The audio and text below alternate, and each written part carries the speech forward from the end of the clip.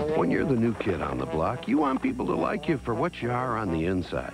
Back in 1996, Cadillac introduced the Catera, their second attempt to change the brand's geriatric image, this time with a small sedan built in Germany by Opel.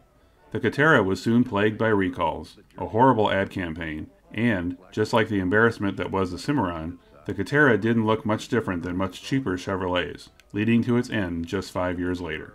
This is a story of the Cadillac Catera. This is my old car. Catera, a whole new ride from the luxury leader. It's the caddy that zigs. Thanks for the feedback from the poll I had on my community page to review the Catera. And although I already gave a couple minutes to the Cimarron in my Chevy Cavalier episode, I may eventually have a complete episode for the Cimarron. The other Cadillacs in the poll, including the second place winner, the Eldorado, are still being considered for future episodes. Prior to the 1980s, Cadillac had been known for decades as a car whose main reason for existing was to flaunt the owner's wealth and status. It wasn't uncommon decades ago for people to use the term the Cadillac of when describing something that was the very best. This was especially true in the 1950s, which culminated in the 59 Eldorado, with the largest fins to ever adorn any car before or since, and Cadillacs continued to be large and opulent into the late 70s. But by the 80s, even Cadillac had to improve their car's fuel economy, and their answer was rebadging a Chevy Cavalier and expecting it to compete against small sports sedans from BMW and Mercedes. The result was arguably Cadillac's biggest flop before or since. So much so that their next biggest flop is one that many may have forgotten, possibly because its replacement finally got it right. More on that later. In the mid 90s, the average age of a Cadillac buyer was steadily increasing, and consequently dying off, so they needed a car to draw in younger buyers who tended to prefer cars like the BMW 3 Series or the Mercedes C Class. Those cars were designed and built in Germany, and, as luck would have it, General Motors had similar sized cars also built in Germany through their Opel division. Specifically, they had the Opel Omega, and although it was classified in Europe as an executive car, at 188 inches long, it was 2 inches shorter than a late 90s Chevy Malibu, making it a good size for a compact car in America. And Cadillac didn't have to incur the expense of designing a new car from the ground up, a tactic they would employ again soon after with the Escalade. Although the Omega was the correct size that Cadillac needed, Viewers of this video from Europe may better recognize the Omega as a typical choice for police cars for both Opel and Vauxhall. It was also marketed in South America as a Chevrolet, and in Australia as a Holden Commodore. America first saw the Catera as a concept in 1994, then called the LSE. The production version was little changed from the concept, launching in late 1996 for the 1997 model year. The Catera was assembled in Germany alongside the second generation Omega in Opel's Rüsselsheim factory. Although the Catera had a different front and rear end than the Omega, if both cars were sitting side by side, it would have been quite obvious that they were the same car. But since the Omega was never imported to America, such a comparison, in theory, could never happen, a big advantage that the Cimarron didn't have. Catera has full range traction control and speed sensitive steering to help you avoid all those clowns out there.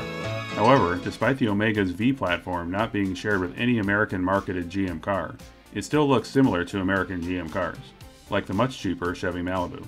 The Catera's base price of just under $30,000, which is close to $50,000 today, had cloth seats and a cassette player as standard equipment. You had to pay extra for leather seats and a CD player. Luxury features that surprisingly were not standard.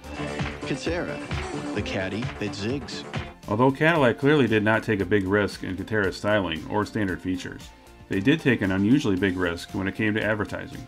Although the Catera was clearly aiming for a younger audience than the typical Cadillac buyer, the resulting ad campaign skewed even younger, almost as if it was geared towards children, thanks to a cartoon bird named Ziggy. In the ads, they showed the Cadillac emblem, complete with merlettes, the small birds in the emblem that resemble ducks, and one of those merlettes would transform into Ziggy, who got his name thanks to the ad's tagline, the caddy that zigs. It got especially weird when Cadillac introduced Cindy Crawford in the ads alongside Ziggy. Once upon a time, there was a beautiful princess who wanted a little more magic in her life. So she went to see the wizard and asked him what to do. Get a Catera, said the wizard. Clearly, Cindy was meant to appeal to the young male demographic, but having her hanging out with a cartoon bird was, well, like I said, weird. Later commercials wouldn't put as much focus on Ziggy, instead relegating him to the tagline at the end. However, by the end of the 1998 model year, Ziggy was mercifully killed off, and since then Cadillac has never had another cartoon bird as a mascot.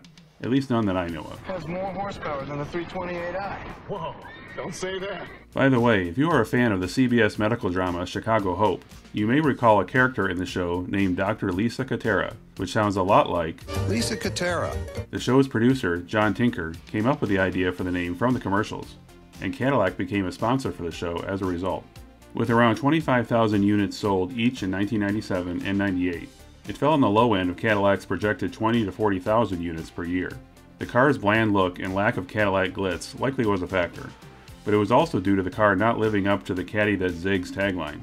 The sole engine choice was a 200 horsepower 3 liter V6, which had similar variations in the Saab 9000 and Saturn L series.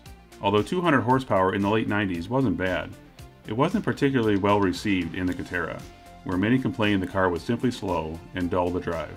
It also didn't help that just after a few months of sales, road accidents started to increase, thanks to a faulty design in the timing belt tensioner pulley, and if you know anything about how timing belts work, if they fail, they can wreak havoc to the engine. As is typical with most failures like this, recalls didn't happen right away, with GM hoping the number of incidents would remain low. But they didn't, and instead increased so much that GM was forced to issue a recall. Thanks to the relatively new invention back then known as the World Wide Web, the bad press spread quickly.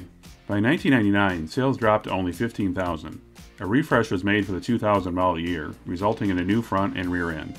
Sales increased to just over 17,000 for that year. This is a bold move for Cadillac.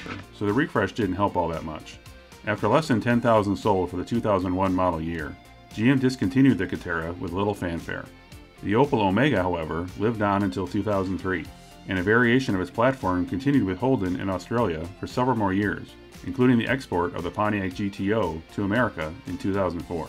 Near the end of the Catera's run, GM began development of their new rear-wheel drive Sigma platform to replace the Catera.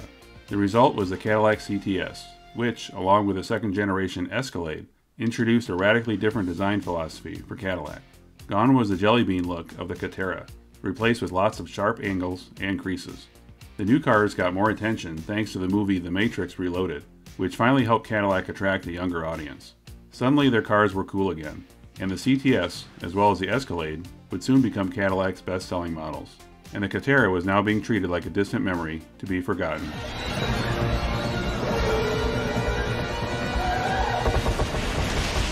The Catera, like the Cimarron that preceded it, came from a time when GM often took the cheaper, less risky option when introducing a new car, by simply rebadging a different car that sold well, and expected the public would accept the higher priced rebadge as a better car. The CTS broke from that tradition and was a bold move which paid off, and remained in production even through GM's bankruptcy.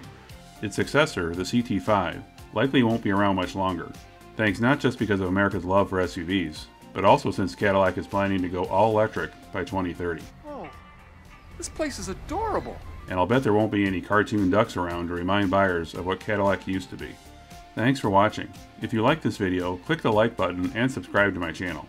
If you once owned a car from the 80s to mid 2000s that you rarely see today and would like it featured in a future episode, leave a reply in the comments or contact me at the email shown here. See you next time.